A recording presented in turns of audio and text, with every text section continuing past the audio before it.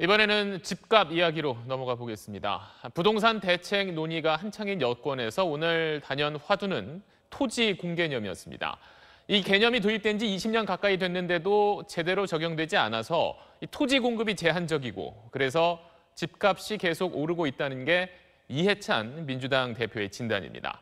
자, 지금까지는 토지 공개념 관련해서 이런 법들이 만들어졌었는데 일부에는 위헌 결정이 내려지기도 했습니다.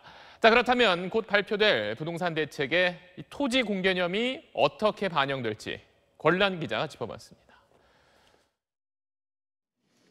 여당과 경기도가 예산 정책을 논의하는 자리, 화두는 부동산 대책이었습니다. 이재명 경기지사가 먼저 부동산 문제 해결책으로 토지 공개념을 꺼내며 국토 보유세를 제안했습니다.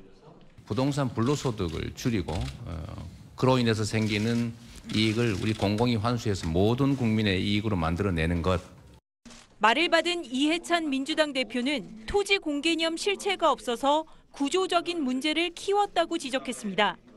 토지는 제한된 공급제인데 유동성은 매우 커졌고 토지는 공급이 안 되기 때문에 그 집값이 폭등할 수밖에 없는 그런 구조를 만들어 놨는데 당 지도부도 토지 공개념 필요성에 공감하면서 검토하겠다는 뜻을 밝혔습니다. 그동안 민주당에서 추미애 전 대표가 임기 내내 토지 공개념 도입을 주장했고 지난 3월 발의한 대통령 개헌안, 지난달 새로 만든 당 강령에도 개념을 포함한 데 이어서 집값 대책 논의에서도 또 토지 공개념이 언급된 겁니다.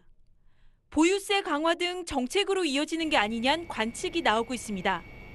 민주당은 원론적인 수준의 논의였다며 선을 그었습니다. 그러나 시장에선 투기 세력에게 이익이 쏠리는 시장의 불균형을 바로잡겠다는 정부의 강한 의지가 반영된 발언이란 풀이도 있습니다. 정부의 부동산 대책은 이번 주 발표될 것으로 보이는데 여기에 실제로 토지 공 개념이 얼마나 녹아들진 아직 물음표입니다. SBS 권란입니다.